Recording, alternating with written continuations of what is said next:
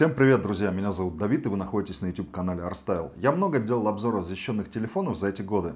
Ну, много, с десяток, наверное, точно. Но вот от компании AGM впервые телефон в моих руках. Многие, я уверен, знают про эту компанию, и я слышал про них что-то, но в руки не попадал. Как китайский производитель действительно хороших, качественных телефонов – с водостойкостью, и здесь даже еще ударозащита есть по американскому стандарту. Единственное, могу LG вспомнить, которые по этому стандарту защищали, но здесь все достаточно серьезно, и многим понравится, что здесь огромная батарея, здесь у нас Qualcomm Snapdragon, пусть 450, это такой середнячок, не для игр телефон явно, либо играть на минимальных настройках, ну чуть позже расскажу, как это все получается.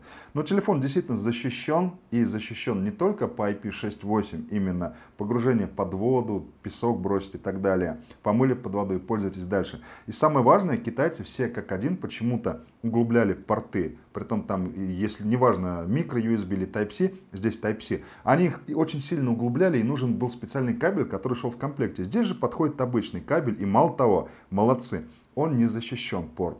Это здорово. То есть не нужно эти заглушки. Иногда бывали такие заглушки на телефонах, что их тяжело просто открывать. Здесь же полный порядок. Но начнем с внешнего вида. И для тех, кому важно, модуль NFC здесь есть, и также это многих порадует.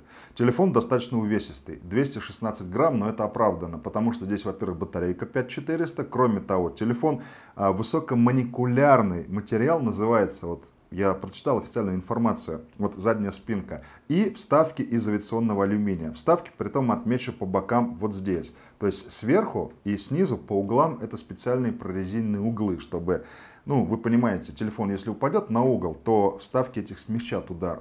Защитное стекло, конечно же, горелый глаз присутствует сверху. Пленка наклеена, кстати, достаточно аккуратно, претензий к ней нету, я бы снимать ее не стал. Алиофобка по пленке хорошая, то есть пока есть, пользуйтесь, если кто купил, не снимайте. Сверху у нас дополнительный микрофон шумоподавления. С правой стороны кнопки громкости. На смартфоне много кнопок, предупреждаю сразу. Есть кнопка запуск голосового ассистента Google. Снизу кнопка камеры тоже очень удобно на самом деле для защищенного телефона, потому что единственное, из заблокированного состояния телефон не разблокируется, нужно потом телефон все-таки разблокировать будет. Кнопка работает на запуск камеры и нажимаете на нее, делаете снимок. Кнопка включения и лоточек, слот совмещенный, либо две сим-карты nano SIM, либо вместо второй карты памяти microSD. Как уже и говорил, ничем не защищенный разъем USB Type-C и фишка, о которой вы, наверное, те, кто знает этот телефон, думали, что же я сразу-то не сказал. Ребят, от компании JBL, здесь значок не просто так, 4 динамика. Их действительно 4, я закрывал пальцами, и звук идет. Уж не знаю, я не разбирал его, может там один какой-то динамик стоит, но заявлено 4. Я не думаю, что китайцы нас обманывают. Ребята, при том эти 4 динамика выражается, для чего они нужны. Здесь есть обычный FM-радиоприемник, если вам это важно. FM-приемник работает без разъема для наушников, который выступает в качестве антенн. Антенна в корпусе и ловит нормально. Ну, в Москве я тестировал, ловит очень громко. Притом забавно, через встроенный проигрыватель музыку все слушать. Она играет ну, громче обычного телефона, флагмана, скажем, нормального, но не сильно громче. Но когда я включаю через MX Player фильм, то тут реально просто вас попросят закрыть дверь, сделать потише телевизор. Такое чувство, ну, громко. Нельзя сравнивать, конечно, с бытовой техникой, но выше среднего, выше э, звук громче, чем на любом телефоне. Это действительно круто. Надо попробую включить. Не знаю, через микрофоны, как это будет, но смотрите. Очень громко. Возвращаются в родную реку, в свой приток, откладывают там икру. Если телефон положим... А потом умирают. Примерно в метре от основного ствола. Первым делом ледники и каждый год пропадает 500 человек. Я покажу вам, какими навыками нужно овладеть, чтобы выжить здесь. Звук очень громкий, хочется сделать потише. Это вообще первый телефон с такими громкими динамиками. И особо отмечу, если вот я при вас сейчас сделал, положить его, никаких выступов здесь нет. Да, нету, ровненько все. Ровно, да, абсолютно он лежит, не шатается. Но звук все равно проходит. Это, конечно, здорово.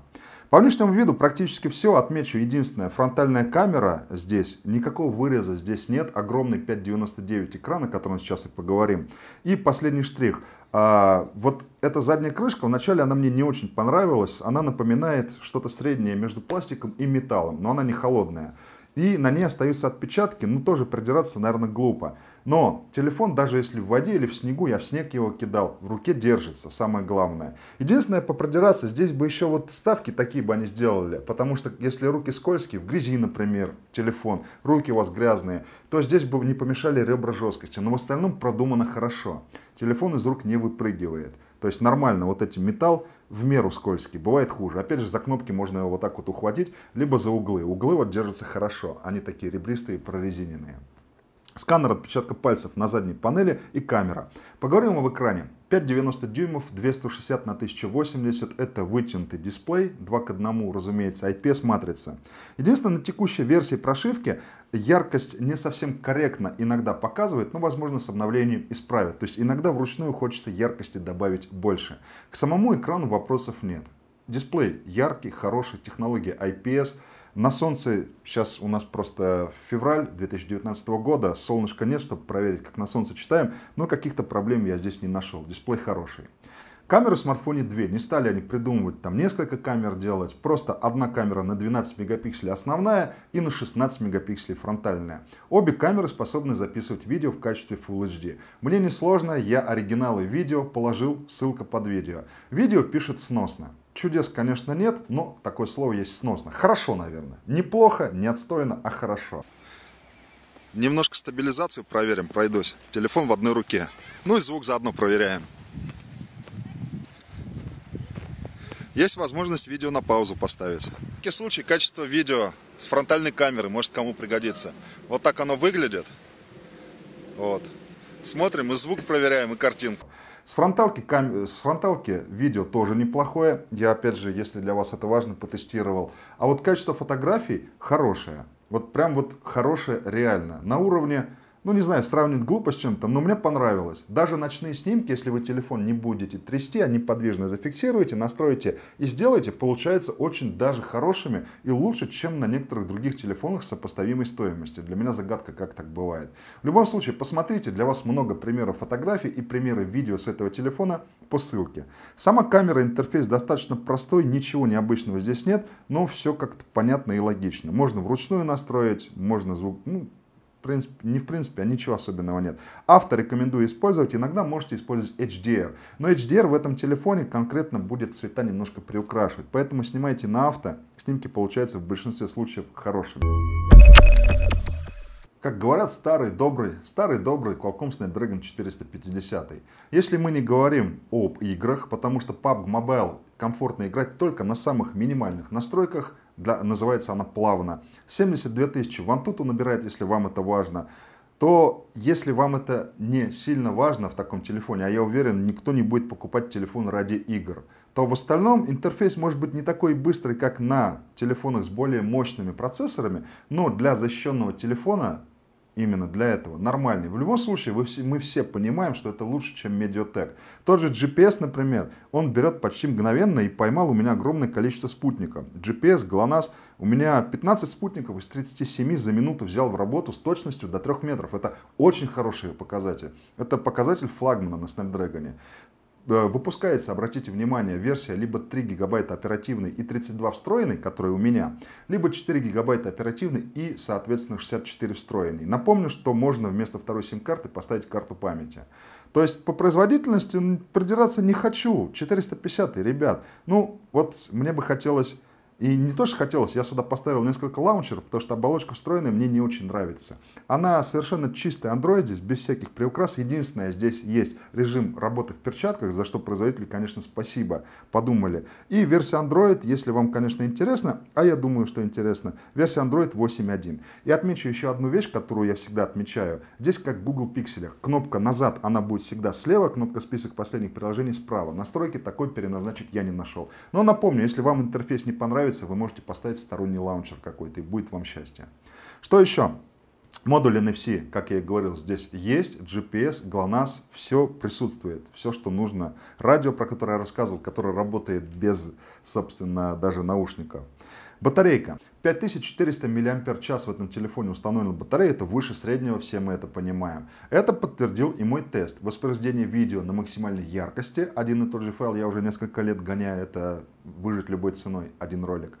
Получилось 11 с половиной часов. Притом забавно в этот раз, я всегда телефоны кладу, обычно ночью, где-нибудь там в 12 ложусь, иногда раньше. Запускаю телефон, яркость максимальную, репейт, и вот утром получается, не утром, а день уже был. Я смотрю, и телефон у меня один, я взял, 1% остался. И вот получилось 11 часов, там 27 минут, что ли, не округляю, 11 с половиной часов. Это очень высокий показатель, реально высокий. Для IPS-экрана 6-дюймового результат классный. В реальном использовании я, конечно, не поленился и поставил сюда сим-карту. Походил с ним, правда, один день. Не буду рассказывать, что неделю, телефон у меня несколько дней, но походил полноценно, пофоткал, музыку послушал. Кстати, плохо звучит через, ну неплохо, ну так, вот через Type-C они, в принципе, почти все через переходник, э, обычные наушники звучат средние. Неплохо, а так, ничего особенного здесь нет. Так вот, э, у меня разрядился он, по-моему, на 6% сзади. Но надо учитывать, что я делал только фотографии, немножко послушал музыки, проверил GPS, что-то еще там. Он у меня большую часть времени лежал. Но все-таки экран, наверное, там часа полтора-два поработал. Я думаю, в полноценном использовании дня на два, на двое суток должен хватить. А если вы пойдете куда-то там в лес, в поход такой телефон возьмете и не будете сильно его гонять, то и дольше. Все-таки 5400 и Snapdragon это хорошая связка. Вывод по этому телефону. Телефон мне, конечно же, понравился. Понравилось самое первое, вот это очень важно, если кто пользовался телефонами, у которых были заглушки и в которых удлиненные разъемы микро-USB или Type-C, меня поймут. Здесь обычный Type-C, и это здорово, не нужно с собой таскать кабель. Понравилась огромная емкость батареи. Понравились неплохие снимки, именно неплохие, еще раз подчеркну, с основной, да и с фронтальной в принципе ничего. Понравился Snapdragon, понравилось, что телефон как GPS, GLONASS, э, как навигатор работает хорошо. Экран, звук просто бомбический, притом хочется даже потише сделать. Не из-за того, что резко, а просто очень громко, реально. Четыре динамика, водостойкость. Хочется верить и в ударостойкость, что если он упадет, шансы, что он переживет падение, все-таки есть. Стандарт просто так не налепят.